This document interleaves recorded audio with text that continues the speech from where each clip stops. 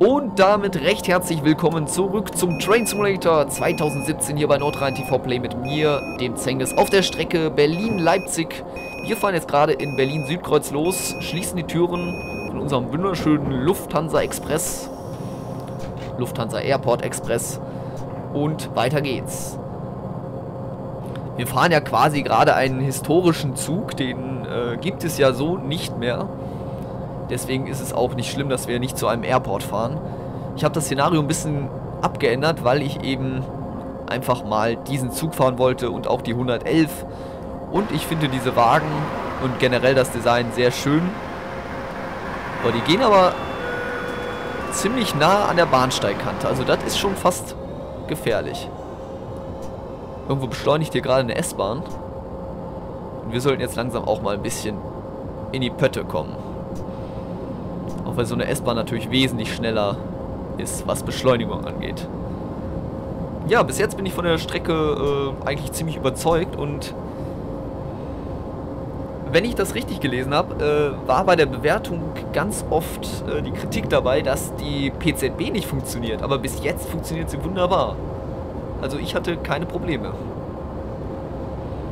Naja, okay, das, das kann vielleicht sein, weil äh, im Karriereszenario ist, ähm, wie ich schon sagte, eben eigentlich eine 101 vorgesehen und wenn das die falsche, in Anführungsstrichen 101 ist, dann hat die keine PZB. Ja, während die von Virtual Railroads natürlich eine PZB hat und ähm, ja, kann sein, dass deswegen einige dann eben kritisiert hatten, dass da keine PZB ist. Naja. Da kann ich eben nur dieses gute, äh, ich werde nicht dafür bezahlt, dieses RW-Tool äh, empfehlen weil damit kann man eben einfach äh, Züge austauschen. Gibt es auch ein gutes Tutorial zu bei Rob spielt. Relativ altes Video sogar. Aber da kann man sich das mal angucken, wie man das macht. Und es ist wirklich wunderbar praktisch und eigentlich auch relativ einfach.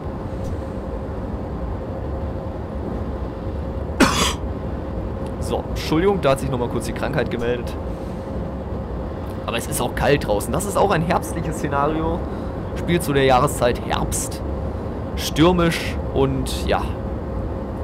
Genauso stürmisch ist auch diese Lok. Oder so heiß, besser gesagt, weil in der ersten Folge haben wir erstmal die Fahrmotoren überhitzt. Was man natürlich nicht machen sollte. Weil irgendwann ist die Lok dann halt auch wirklich kaputt. So, wir ruckeln hier jetzt leider gerade ein bisschen durch die Gegend. Das tut mir auch leid. Jetzt fahren wir ein bisschen zu schnell. Sollen wir mal wieder ein bisschen eingrenzen. Wobei, jetzt dürfen wir sowieso 160 fahren. Dann ziehen wir auch locker an dieser S-Bahn vorbei. 160 ist auch die Maximalgeschwindigkeit von diesem Zug. Oh, ja. Nullstellungszwang hat dieses Ding natürlich auch. So, und jetzt geben wir wieder ein bisschen Gas. Da hinten kommt uns auch wieder ein Kollege mit dem Intercity entgegen.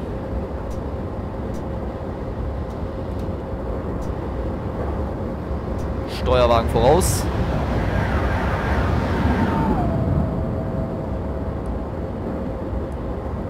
So.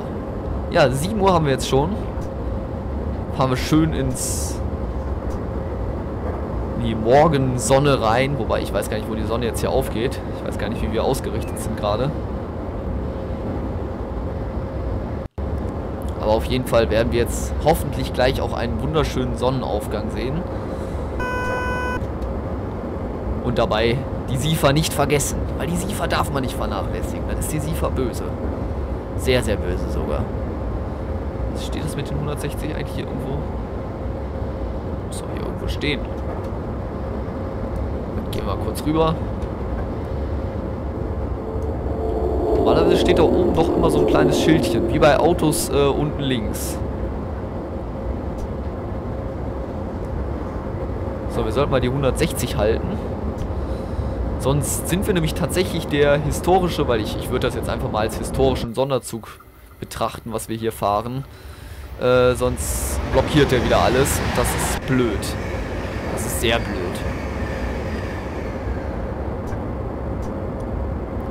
So. Aber jetzt sind wir auf freier Strecke. Hoffentlich ohne überhitzte Fahrmotoren. Aber das finde ich so toll, das finde ich so toll, dass sowas geht eben. Dass man da eben auch mal die Fahrmotoren überhitzen kann oder irgendwas, äh, ja, irgendwas halt Besonderes. Etwas, was Abwechslung bietet, was äh, unvorhersehbar ist. Wobei, wenn man die Fahrmotorenlüfter nicht einschaltet, wobei ich habe sie eigentlich eingeschaltet.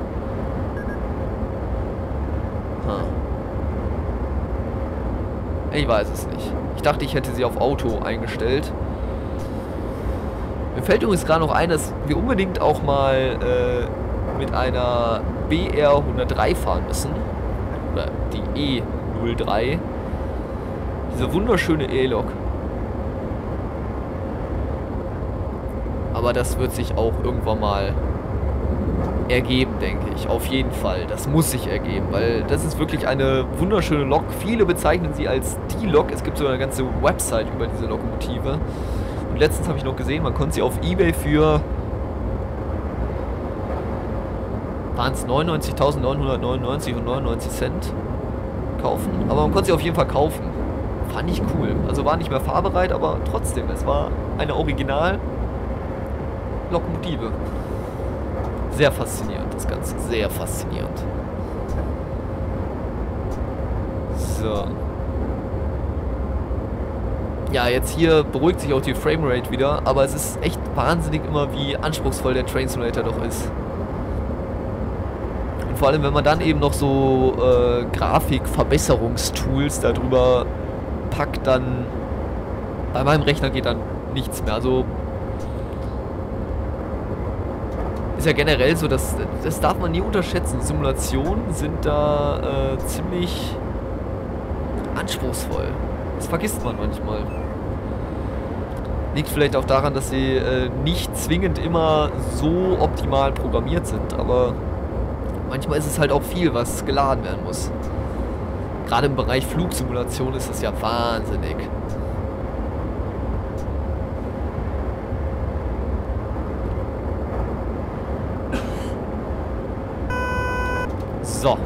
So, da muss ich nochmal kurz hüsteln. Aber das kommt vor. Mal kurz. LZB haben wir hier nicht im Zug. Ah, 101. Ich dachte, ich hätte die alle ausgetauscht. Weil ich sehe die 101 nicht so gerne vor Güterzügen. Also ich habe ja schon nachgeguckt. Es war tatsächlich mal eine Zeit lang, äh, nicht im Trend, aber man hat es gemacht, äh, dass man eine 101 vor Güterzüge gespannt hat. Aber da das heute äh, gar nicht bis selten oder ja, selten bis gar nicht passiert, ähm, finde ich es eigentlich schöner, wenn da was anderes vorgespannt ist. Einfach nur des Realismus wegen. Aber gut, werde ich verschmerzen können. Weil teilweise habe ich eben auch die äh, Loks ausgetauscht. So, wir können gleich auch mal in die Fahrgastansicht gehen.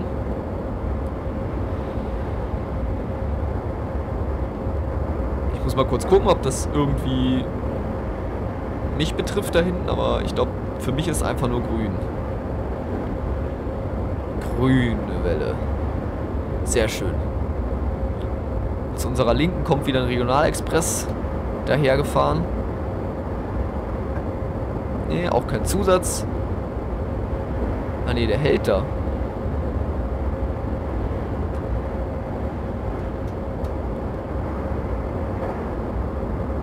Ja.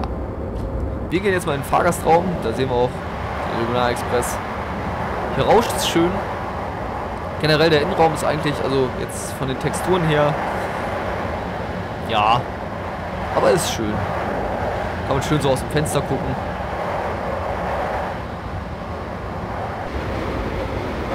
Aha, hier hat man gerade was Wunderschönes gesehen.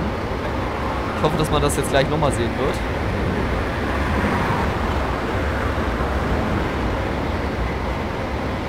Ja, es gibt Kurvenüberhöhungen auf dieser Strecke, das ist ja vielen sehr wichtig. Und ich finde es eigentlich auch ganz schön, weil es ist möglich und ja, warum nicht? So, hier ein schöner gemischter Güterzug. Wunderbar. Übrigens, kleine Anekdote, wie ich an diese Lokomotive und an die Wagen rangekommen bin. Das ist eine Sache, die ich jedem nur empfehlen kann, wirklich. Äh, zu Weihnachten. Glaube, es ist immer zu Weihnachten oder so. Oder um diese Zeit. Sollte man des Öfteren mal bei der Seite von Virtual Railroads vorbeigucken, weil, wenn man dort angemeldet ist, äh, kann man Geschenke abstauben. Das ist tatsächlich so. Und das ist einfach, weil viele ja auch sagen, so, ja, ist teuer oder so, aber an den Zug bin ich halt äh, kostenlos, komplett kostenlos drangekommen. Weil den schicken die dann einfach einen zu. Das ist total cool. Also man kann ihn dann einfach kostenfrei da äh, ordern. Und das ist echt eine schöne Sache. Und das machen die halt jedes Jahr, wenn ich äh, da richtig informiert bin. Und äh, ne, mal gucken, was dieses Jahr kommt. Ich bin gespannt. Ich werde auch mal wieder gucken. Aber kann ich halt für diejenigen empfehlen, äh, die sich das vielleicht auch einfach mal nur angucken wollen, die vielleicht skeptisch sind, ob äh, die Fahrzeuge ihr Geld wert sind oder so. Dann kann man das halt mal kurz nachprüfen so und testen. Das ist, ist auch ein cooles Angebot von denen.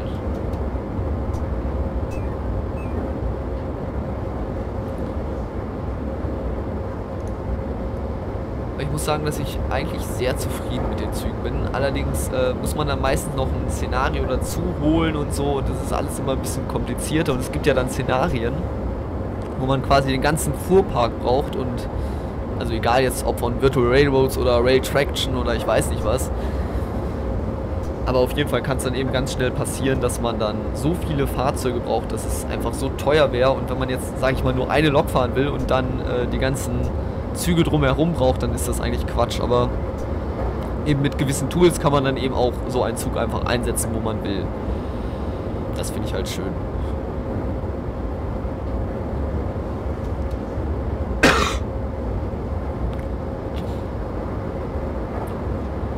Aber was mir immer noch fehlt, das wäre so schön. Das wäre so schön. Also ich habe gehört, dass es theoretisch sein könnte oder machbar wäre, und zwar hier den Buchfahrplan. Den elektronischen Buchfahrplan natürlich zum Laufen zu bekommen, weil das wäre so das, das wäre so ein kleines Highlight für mich persönlich. Also ich weiß nicht, natürlich hat man unten das, aber man muss sich vorstellen, wenn, wenn dieses Ding laufen würde und man da nur ab und zu mal drauf guckt, dann könnte man auch komplett ohne das fahren. Dann würde man die ganze Zeit so fahren. Das ist ja das, was man bei Zusi sehr gut machen kann. Also wirklich, weil ähm, Susi will ich eigentlich auch mal spielen, wirklich. Äh, also habe ich schon, aber noch nie aufgenommen. Uh, unter anderem, weil äh, viele Leute sind da wohl sehr skeptisch, aber gerade deswegen sollte ich das auf jeden Fall mal aufnehmen. Ähm, es ist halt eine besondere, es ist halt wirklich eine reine Simulation. Es ist sehr trocken, sage ich mal, und äh, nicht sehr farbenfroh. Also es gibt schon inzwischen Farben und Texturen tatsächlich. Aber es ist halt immer noch eine recht trockene Simulation und das schreckt die meisten, glaube ich, ab oder ich weiß es nicht. Ich weiß nicht, was genau da passiert, aber nicht alle kommen damit klar, so muss man sagen. Aber auf jeden Fall da kann man sich eben dann zum Beispiel auch den Buchfahrplan direkt ausdrucken. Und, oh, das war eine 189, die ich da hingestellt habe. Und äh, es ist auf jeden Fall so, dass das äh, eigentlich ziemlich cool ist. Weil man kann eben mit äh, dann Funktionen oder mit äh, gewissen anderen Anwendungen auch von Susi äh, einen Buchfahrplan sich zum Beispiel auf einen zweiten Monitor packen oder auf einen Laptop oder so. Das ist cool. Kann ich nur immer wieder sagen.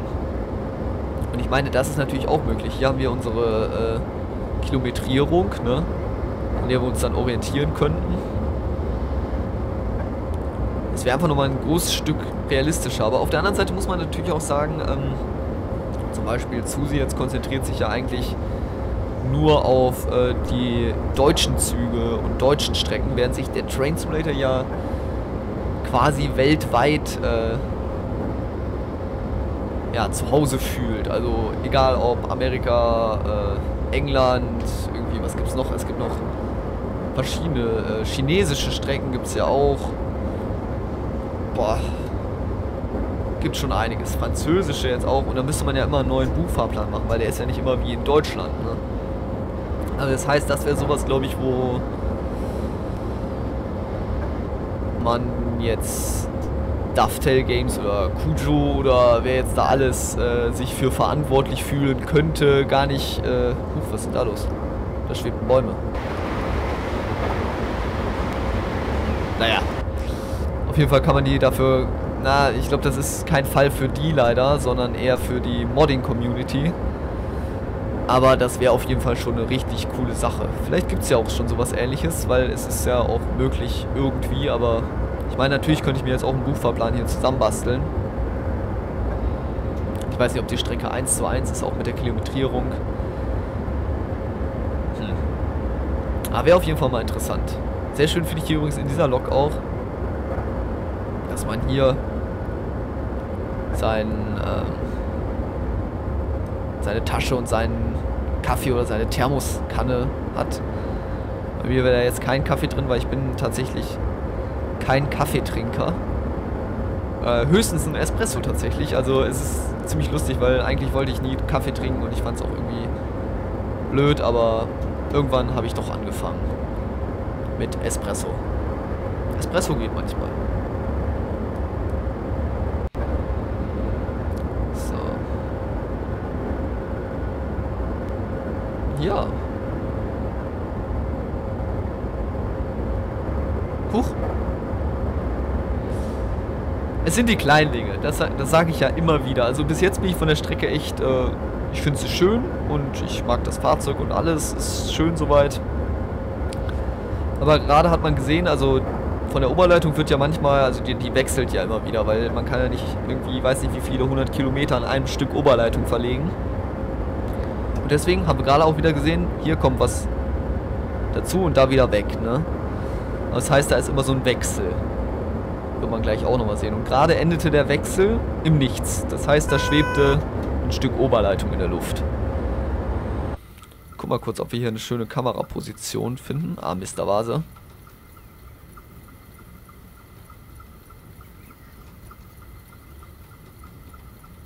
Oh, ich höre gerade äh, die Tante Yu. Ein wunderschönes altes Flugzeug, was scheinbar gerade über mein Haus fliegt.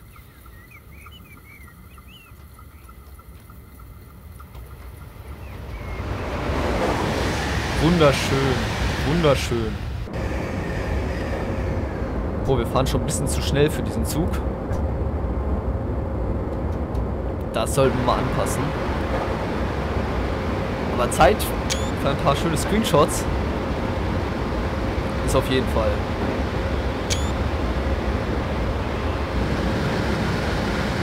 So, wann haben wir denn den nächsten Halt? Nur damit ich mal Bescheid weiß. Hä, hier fehlt ein Bahnsteig. Da fehlt ein Bahnsteig.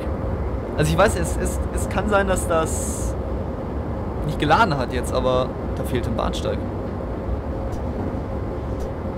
Hä?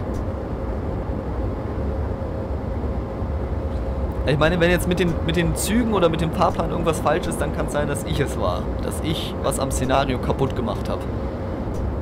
Weil ich ja, wie gesagt, einige Sachen ausgetauscht habe. Aber dass da ein Bahnsteig fehlt, damit habe ich nichts zu tun. Also da ziehe ich mich aus der Verantwortung. Hm, komisch. Wieso fehlt da ein Bahnsteig? Ein Mysterium. Ein Mysterium. So. War eigentlich gerade... Ich dachte, da unter uns wäre auch noch eine Strecke gewesen.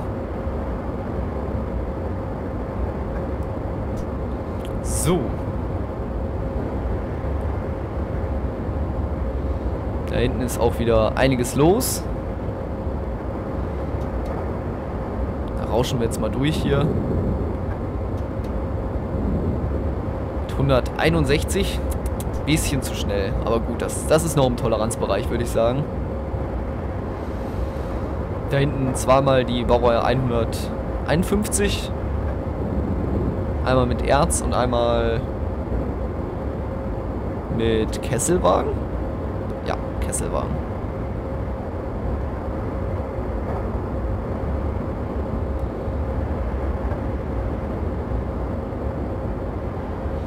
So.